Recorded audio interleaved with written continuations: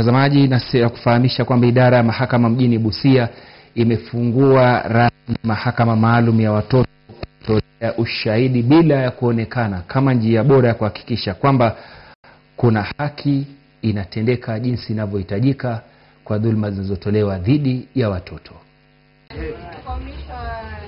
Akiongea na waandishi wa habari muda mfupi tu baada ya hafla hiyo, hakimu mkuu katika mahakama ya Busia Lucy Ambasi amesema kuwa mahakama hiyo itasaidia watoto kutoa ushahidi bila kuonekana na washukiwa waliowatendea unyama, hasa kesi za unajisi. Sasa hivi tumetoka kufungua uh, kurilaunch Children's Court yenye imetengenezwa specially for children they have, they wakuwe, wakuwe in an, a environment. For the first time in Busia Law Court tumewekewa booth a child, child protection booth because uh, watoto wengi wenye wamedhulumiwa wakiingia kotini wanaona wenye aliwadhulumu wanashindwa hata kuongea kwa sababu ya ile psychological trauma wamepitia. Aidha, hakimu Ambasi ameelezea kusikitika na ongezeko la visa vya unajisi katika kaunti ya Busia, na sasa wanalenga kutekeleza kipengee cha kufunga maisha washukiwa wa visa hivyo. I'd also want to spread the message that uh, Busia county, county has too many defilement cases. I want to remind you that the sentence for defiling a child is life sentence.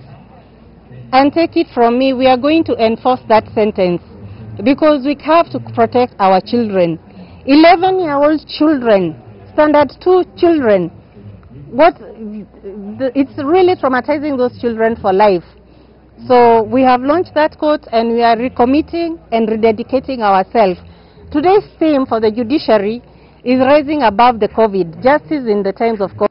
Baadhi ya mashirika ambayo yanajihusisha na kutetea haki za kibinadamu katika kaunti ya Busia pamoja na kupambana na dhuluma za kijinsia yakiwemo CCGD, RIP na Mwendo pamoja na idara ya magereza Busia wamepongeza hatua hiyo. Mashirika hayo yametoa wito kwa jamii kwa jumla kushirikiana na washikadau husika ili kukomesha visa vya unajisi kwa watoto pamoja na dhuluma zingine za kijinsia. Worked very closely with the DCS and the other civil society, and we are in this together with the judiciary. We are saying child protection is a multi-sectoral, it's all our work.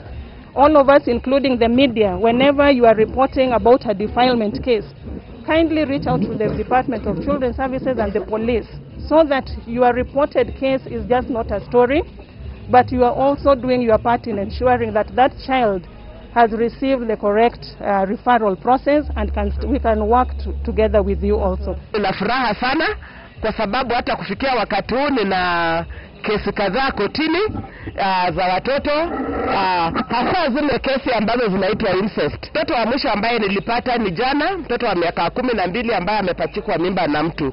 Tuna visa elfu kumi na tatu mia saba na sitini na mbili uh, ambavyo tumepata, na nasema pia hivyo visa sio vya like Busia yote, Idara ya usalama katika kaunti ya Busia ikiongozwa na kamanda wa polisi John Nyoike na naibu kamishna eneo bunge la Matayos Kipchumba Ruto ambaye amezungumza kwa niaba ya kamishna imesema kuwa itakaza kamba ili kuwatia mbaroni wanaojihusisha na visa hivyo.